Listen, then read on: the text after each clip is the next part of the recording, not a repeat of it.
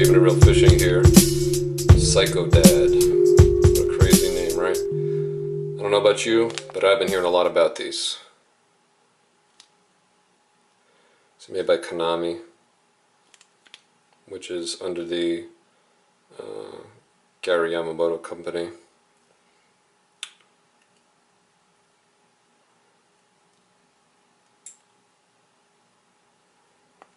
Okay. Not much to look at from the outside, actually. Can't really see the baits. now, right off the bat, with uh, these, um, if you're interested, apparently it's like a really decent bait. It's a nice new offering. Only downside is you get five in here, and this costs over five dollars. It's about five fifty. Uh, this is all from a tackle warehouse order. Um, so yeah, you're looking at over a dollar a bait. Which makes seem cheap. Color I got is green pumpkin blue. Let's take a look.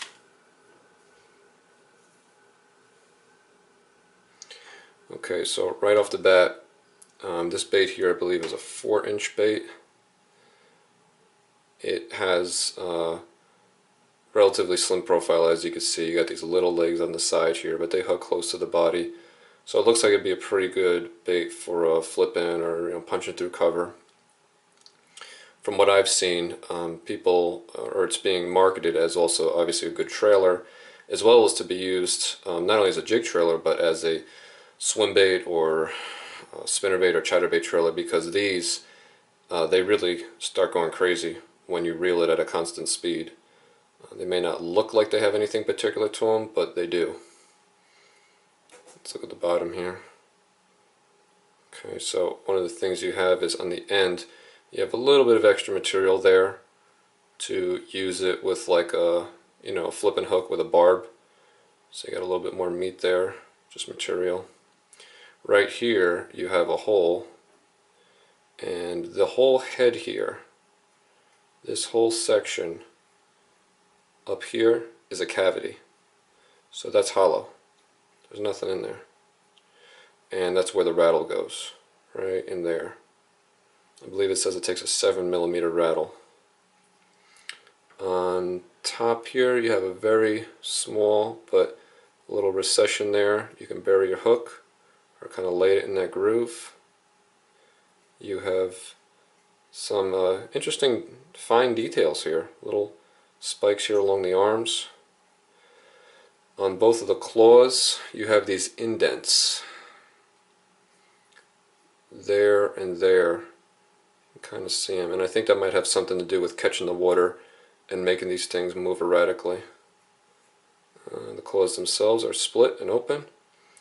I had wondered if they were filled with air and I don't think they are although they're incredibly soft they're definitely not hollow but it almost feels like maybe there's a little tiny air pocket in the middle. I don't feel like cutting open the claw and ruining one bait but uh, we'll, I guess we'll all know soon enough for all those of us who have it. And uh, little antenna, that's pretty much it. I do like that the legs are going this way, although they're kind of small uh, because you figure when this is weighted, your weight's down here and this is coming through the water like this, the water passing over the bait like this would cause these legs to flail out except there's not a lot to grip. They're so skinny, there's no widening or paddle to, paddle to them.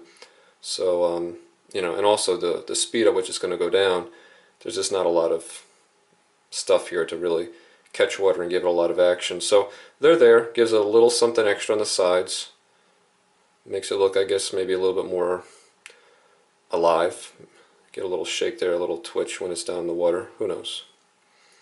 But that's the Kinami. Psychodad. And uh, I forget, I'm, sorry, I just was talking to him the other day. One of my subscribers, he has a great video of this in water. Uh, he just has it in a tub, but what you can see and what's really important is that this bait is buoyant. Uh, not like a Z-Man bait where the whole thing floats, but I guess something is done with these claws, whether the material's different or there's air in there or whatever. But when it's on the bottom, these claws go up you know, it does like one of these. So they're up. which was the most important thing to me. I wanted to make sure that this thing rose in the water, and it does.